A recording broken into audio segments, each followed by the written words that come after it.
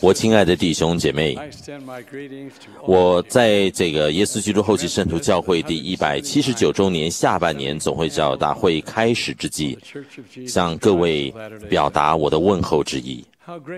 我非常感谢我们能生活在一个科技如此发达的时代。让我们能够向全球的教友演讲。总会当局人员和辅助组织领袖站在盐湖城圣殿这个会议中心讲台上，而我们的声音却能透过收音机、电视。卫星传输和网际网络等各种不同的媒介传达给你们。虽然我们是用英文向你们演讲，但是你们会透过九十二种语言听到这些演讲。自从今年四月召开上次的大会以来，我们已经在犹他州南约旦地区奉献了美丽的犹他州奥克尔山圣殿。而在这个八月份，我们也奉献了最新的圣殿，也就是。奥克尔山圣殿，还有三月奉献的犹他州卓佩圣殿，在这个奉献典礼之间，有一场精彩的文化演出，而这特最大的特色就是由青少年参与。节目内容透过了歌曲和舞蹈，呈现出犹他州的丰富的传承。总共有一万四千名青少年参与。我们会继续建造圣殿。希望尽可能让教友不必长途跋涉就能够到圣殿去。在世界各地，百分之八十三的教友住在离圣殿三百公里以内的地区。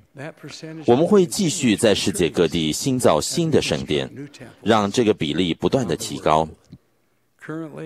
目前，教会运作中的圣殿有一百三十座。已经宣布或新建中的圣殿有十六座。今天早上，我很高兴，另外五座已经取得新建用地的圣殿，将在未来的几个月和几年中，在下列的地点新建：犹他州百汉市、智利康塞普森、巴西福塔利沙、佛罗里达州。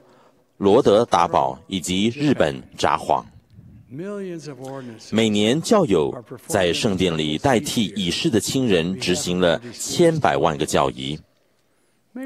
愿我们都能继续忠信地执行这些教仪，为那些无法亲自执行的人代劳。约瑟 ·F· 约。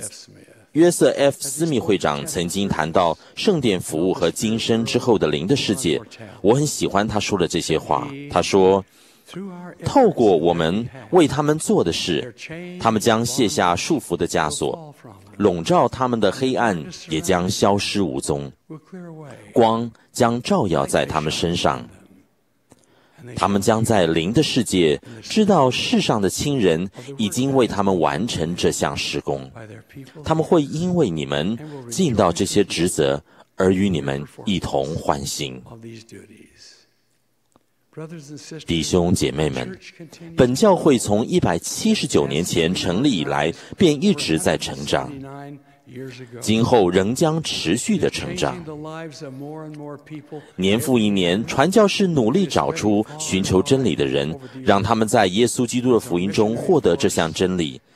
本教会的触角更正深入到世界各个角落，也让越来越多的人改变了生命。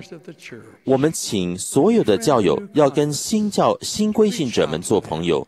主动的关心他们，用爱心对待他们，让他们有回到家的感觉。我恳请各位继续运用信心，为目前教会施工受到限制的地区，以及教会未获核准可以自由的分享福音的地区而祈祷。只要我们运用信心祈祷，奇迹就会发生。弟兄姐妹们。现在，我们满心满心期待的，能够在这两天里聆听到所要传达给我们的信息。演讲者在准备这些信息的时候，都寻求了上天的帮助和指引。他们获得了灵感，知道要跟我们分享哪些事情。愿我们在聆听和学习的时候，都能充满主的灵。奉耶稣基督的名，Amen.